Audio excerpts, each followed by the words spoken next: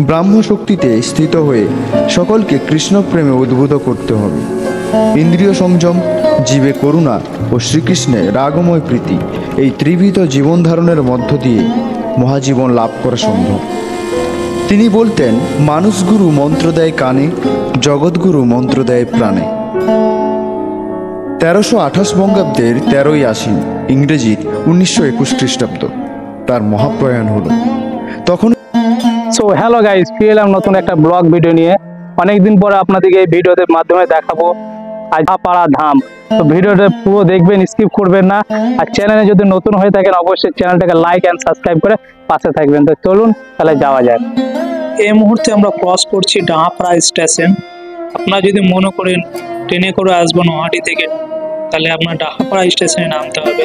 কিংবা গাড়ি করে যদি আসেন, তা নোহাটিতে থেকে পলসন্ডা হয়ে বাঁ সাইডে যে রাস্তাটা চলে গেছে মন্ডল ফার্মেসি হয়ে, ওই রাস্তা দিয়ে আপনাদেরকে ডাঙাপাড়া ধাম আসতে হবে। তো আমরা তো বিস্কুটে করে আসছি, ডাহাপাড়া ধাম। আর এই ডাঙাপাড়া এই ধামের রাস্তা সোজা রাস্তা একদম। সোজা রাস্তা ধরে চলে যেতে হবে ডাহাপাড়া ধাম। আজ এই ভিডিওতে ডিসকাস করব, প্রভু জগৎ বন্ধু, কীভাবে আবির্ভূত হয়েছিল ডাহাপাড়া গ্রামে এবং তার জীবন কাহিনী নিয়ে আলোচনা করব। পুরো ভিডিওটা দেখবেন স্কিপ করবেন না, নাহলে কিছুই বুঝতে পারবেন না। তো চলুন স্টার্ট করা যাক। প্রভু জগৎবন্ধু কীভাবে আবির্ভূত হয়েছিল এবং তার জন্ম কীভাবে হয়েছিল? প্রভুর জন্ম হয়েছিল আঠারোশো একাত্তর খ্রিস্টাব্দে, সতেরোই মে, সীতা নবমী তিথিতে। এবং তিনি আবির্ভূত হয়েছিলেন মুর্শিদাবাদ জেলার ডাহাপাড়া গ্রামে। তার পিতা দীননাথ চক্রবর্তী ছিলেন এক শাস্ত্রজ্ঞ ও বেদাজ্ঞ পণ্ডিত। তিনি ন্যায়ের রত্ন উপাধি পেয়েছিলেন এবং অধ্যাপনা ভিত্তিতে নিযুক্তও ছিলেন। তার জীবনে একমাত্র উদ্দেশ্য ছিল মানুষের মধ্যে ধর্মশ্রী শিক্ষা প্রচার করা। চক্রবর্তীর আদি নিবাস ছিল পূর্ববঙ্গের তথা বাংলাদেশের ফরিদপুর জেলার কুমোরপুর গ্রামে।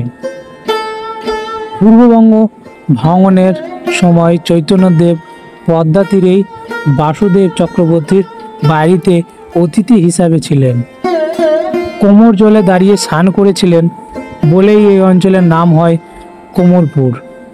পরবর্তীকালে পদ্মার ভয়ঙ্কর ভাষণে এই গ্রাম তলিয়ে যায়। তখন চক্রবর্তী পরিবার চলে আসেন গোবিন্দপুরে। এই পরম ভক্ত বাসুদেব চক্রবর্তী বংশধর হলেন জগৎবন্ধুর পিতা। তার মায়ের নাম বামা দেবী।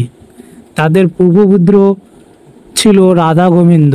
মা বাবার তৃতীয় সন্তান শ্রীপ্রভু জগৎবন্ধু। জন্মগ্রহণের পর তাকে দেখে এক সন্ন্যাসী ভবিষ্যৎবাণী করে বলেছিলেন, এই যে রাজা হবে এবং পিতা বলেছিল, সাধুজি মাফ করবেন। আমি একজন দরিদ্র ব্রাহ্মণ। আমার ছেলে রাজা হবে কি করে? মৃদু এসে সাধুজি বললেন, না না, আমি সেই রাজার কথা বলছি না। এই যে যুগের রাজা, ওই সন্ন্যাসী ভবিষ্যৎ বাণী শুনে দীননাথ চক্রবর্তী খুবই খুশি হন এবং জগৎবন্ধু শৈশবে তার মাকে হারিয়ে ফেলেন। স্ত্রীর মৃত্যুর পর দীননাথ মুর্শিদাবাদ ছেড়ে সংগ্রামে চলে এলেন, অর্থাৎ ফরিদপুর জেলা গোবিন্দপুরের গ্রামে। তার ভাই ছিলেন দিগম্বর এবং তার শিশুটিকে সেই দিগম্বরের উপরেই লালন পালনের দায়িত্ব দিলেন। কিছুদিন বাদে পিতা দীননাথের মৃত্যু হয়। এর কয়েক বছর পর গোবিন্দপুর গ্রামে পদ্মার করাল গ্রাসে নিশ্চিহ্ন হয়ে যায়। নিরুপায় হয়ে চক্রবর্তী পরিবার ফরিদপুর শহরতলে ব্রাহ্মণকাণ্ডে আশ্রয় নেয়। উনিশ শতকের শেষ দিকে ভারতের অধ্যাত্ম জীবন দেখা দিয়েছিল ঘনত্বের সংসার। শশান্ত ভাবধারা গ্রহণ করে অনেকেই খ্রিস্ট ধর্মে আস্থা নিয়ে করেছিলেন অনেকেই আবার ইসলামের দিকে ঢুকেছেন কেউ কেউ ব্রাহ্মণ আন্দোলনের সঙ্গে নিজেকেও নিযুক্ত করেছেন। ব্রাহ্মণ শোষিত হিন্দু ধর্মে দেখা দিয়েছে নানা অনাচার। জাতিভেদের কঠোরতা নিম্ন শ্রেণির মানুষকে ব্যথিত করেছেন।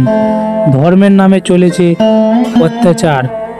চৈতন্য প্রেমা ধর্মের সমাজ সংস্কারে যে সম্ভাবনা লুকিয়েছিল, এখন তা জনপ্রিয়তা ক্রমশই কমছে। ব্রাহ্মণ ধর্মের প্রচারকরা হিন্দু ধর্মকে আচার আশ্রয়ী করে তুলেছেন। এই অবস্থায় জগতের আবির্ভাব ঘটল। তখন তিনি ফরিদপুর জেলার স্কুলের ছাত্র ছিলেন। নবযুগের ভাবধারা থেকে সঙ্গে কিছুটা পরিচিত ছিলেন, কিন্তু তার মনে ছিল বৈষ্ণব ধর্মের স্মরণ। আসলে তাদের পরিবারে বাতাবরণ ছিল বৈষ্ণব চিন্তার মায়া মমতা এবং জগৎ এলেন পাবনা শহরের স্কুলে। থাকতেন দিদির বাড়িতেই।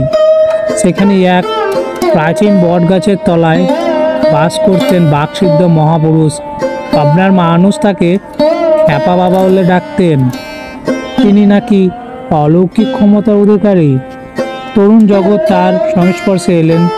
তার মনে অত্যাধিক ভাবনার অনুবোধন জাগলো। বৈরঙ্গভাবে আশ্রিত হয়ে নানা ধরনের পথ রচনা করতে থাকেন। মাঝে মধ্যে বটবৃক্ষর তলায় বসে ধ্যান করতেন। এই অবস্থা দেখে খ্যাপা বাবা তার দিদিকে, তার দিদি গোলকমণিকে বললেন, দেখ দিদি, জগা কিন্তু সাধারণ মানুষ নয়। এ হলো জগতের রাজা। আর আমরা হলাম সকলে তার প্রজা।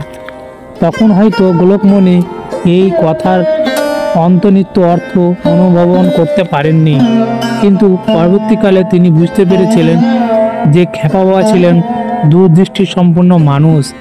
এরপর জগতের পড়াশোনা খুব একটা এগোয়নি। তার দেহকে আশ্রয় করে নানা যোগ বিভূতি প্রকাশ্যেই পড়ে। ধীরে ধীরে পাবনা এবং শহরতলিতে এক অধ্যাত্ম পুরুষ হিসাবে জগতের নাম ছড়িয়ে পড়ল। তাকে কেন্দ্র করে গড়ে উঠল ভক্তগোষ্ঠী।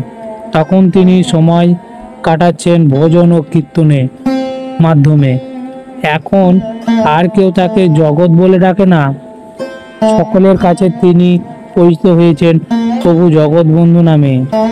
এই নামে মানুষের হৃদয় জয় করেছিলেন। সময় পেলে কীর্তন আসরে উপস্থিত হতেন এবং কৃষ্ণ ভরে, কৃষ্ণ ভেবে অন্মত্ত হয়ে সময় কাটাতেন। সেদিন পাবনা শহরে কৃষ্ণ দর্শনের আকাঙ্ক্ষায় জগৎবন্ধু কেমন যেন হয়ে গেল। চৈতন্য হারালেন। তিনি সেখানে তরুণ ডাক্তার চন্দ্রশেখর কালী উপস্থিত ছিলেন। তিনি জগৎবন্ধুকে পরীক্ষা করে বুঝতে পারেন, এটি স্বাভাবিক দুর্বলতার যোগ রোগ নয়। বৈজ্ঞানিক দৃষ্টিতে রোগ ধরতে পারলেন না। ডাক্তার তিনি বুঝতে পারলেন যে মানুষ জ্ঞানের উপরে পরম চৈতন্য অস্তিত্ব আছে। ঈশ্বরী হয়ে, বিভোর হয়ে এই কিশোরের সমাধি ঘটে গেছে। ডাক্তারের অনুরোধে রোগীকে যাত্রা আসরে নিয়ে আসা হলো। হরিগান শুনতে শুনতে অচেতন অবস্থা থেকে চেতন অবস্থায় ফিরে এলেন জগৎবন্ধু। এই ঘটনার কথা সর্বত্র ছড়িয়ে পড়ল। আরও একবার কৃষ্ণযাত্রা আসরে ভাব নিবন্ন হয়ে গিয়েছিলেন। এবং এক ব্যক্তি তাকে পরীক্ষা করার জন্য তার পায়ের উপর জ্বলন্ত আঙ্গুল রেখে দিয়েছিলেন। আঙ্গুল পুড়ে গিয়েছিল, কিন্তু তবুও জগৎবন্ধুর কিছুই বোধ হচ্ছিল না। বোঝা গেল, ভাব জগতের সমাধি লাভ করে তখনই বাহ্যিক জ্ঞান আর থাকে না। এইভাবে জগৎবন্ধুর বাল্য পিরিষদ হন এবং তিনি ঠিক করলেন বিভিন্ন অঞ্চলে যাবেন। তীর্থে তীর্থে, গ্রামে গ্রামে হরিনাম বিলিত করবেন। অবশেষে উপস্থিত হলেন সেধাম বৃন্দাবনে। তখন আর অবস্থা অনিবার্য নয়। তখন তিনি অমৃতে আনন্দের ধারায় সিক্ত হয়েছেন। এইভাবে কতটা সময় কেটে গেল? তখন প্রকৃত অস্ত্র হলেন, তখন ধীরে ধীরে লেখলেন জয় রাধে জয়। জয় রাধে ধর্ম, জয় রাধে জয় জয় রাধে ধর্ম, জয় রাধে জয়।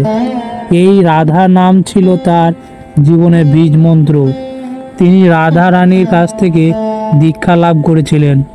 একদিন বৃন্দাবনে নীলসঙ্গ করে ফরিদপুরের ফিরে এলেন। অর্থাৎ আঠারোশো সালে এবং ফরিদপুরে ব্রাহ্মণকাণ্ডে তার আসন পাতলেন। তখন সেখানে সাঁওতাল ও নমশূদ্রের বেশ কয়েকটা বস্তি ছিল এবং হিন্দু সমাজের কাছ থেকে কোনো রকম সহযোগিতা পায়নি। এইসব দলিত সম্প্রদায়ের মধ্যে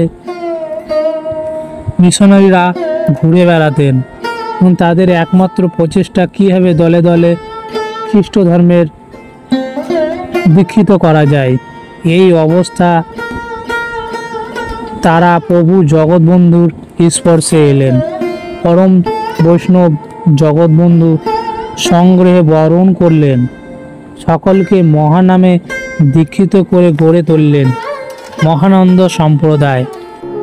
ব্রাহ্ম শক্তিতে স্থিত হয়ে সকলকে কৃষ্ণ প্রেমে উদ্বুদ্ধ করতে হবে। ইন্দ্রিয় সংযম, জীবে করুণা ও শ্রীকৃষ্ণের রাগময় প্রীতি এই ত্রিবিধ জীবন ধারণের মধ্য দিয়ে মহাজীবন লাভ করা সম্ভব। তিনি বলতেন মানুষ গুরু মন্ত্র দেয় কানে, জগৎগুরু মন্ত্র দেয় প্রাণে।